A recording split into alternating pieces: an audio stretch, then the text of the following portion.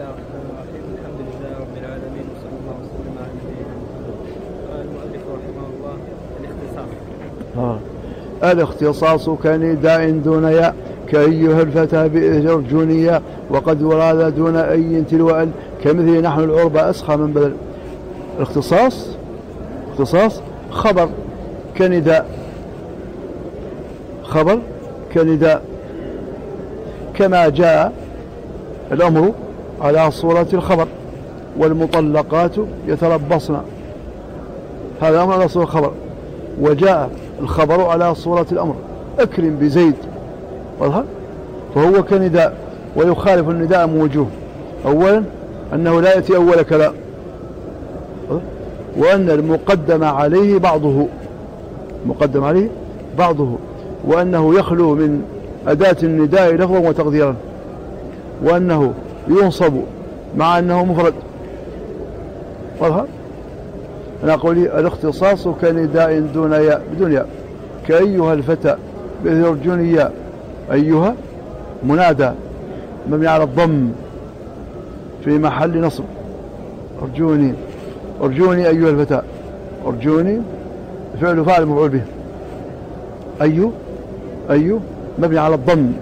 ليس ليس منادى أخطأته أي مبني على الضم في موضع ينصب على الاختصاص. والفتاة بدل منه مرفوع ضم مقدرة. قال وقد يراد دون أي تلو ال المنصوب على الاختصاص إما أن يكون أن يكون معرفا بأل نحو نحن العرب أقرى الناس للضيف وقد يكون مضافا إلى ما فيه كقول النبي صلى الله عليه وسلم نحن معاشر الأنبياء لا نورث. منصوب بأخص. وهذا وجه شبهه بالمنادى أن المنادى العامل فيه واجب الحذف وهذا العامل فيه واجب الحذف. أظهر لن تطلق بالعرب.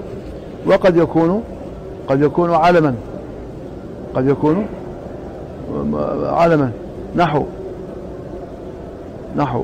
قد يكون معرفا بالإضافة. نحو.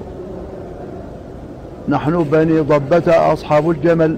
ننزل بالموت إذا الموت نزل قالها بنو ضبة يوم الجمل.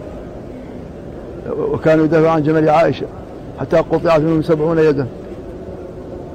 قال نحن بني ضبة أصحاب الجمل ننزل وقد يكون عالما وهو قليل كقول بعضهم بنا تميما يكشف الضباب. قالوا أكثر الحامل عليه إما إما جلاء إزالة إبهام أو فخر أو تواضع. فخر نحن العرب أقرب الناس للضيف بيان حكم قول النبي صلى الله عليه وسلم نحن معاشر الأنبياء لا نورث تواضع أنا لا أفعل هذا أيها الرجل. أه؟ أيها الرجل أخص أخص الرجل. نعم. قال قال السيبويه أكثر الدخول أكثر الدخول في هذا الباب بنو فلان وآل فلان. والله أعلم صلى الله عليه وسلم ما في شيء.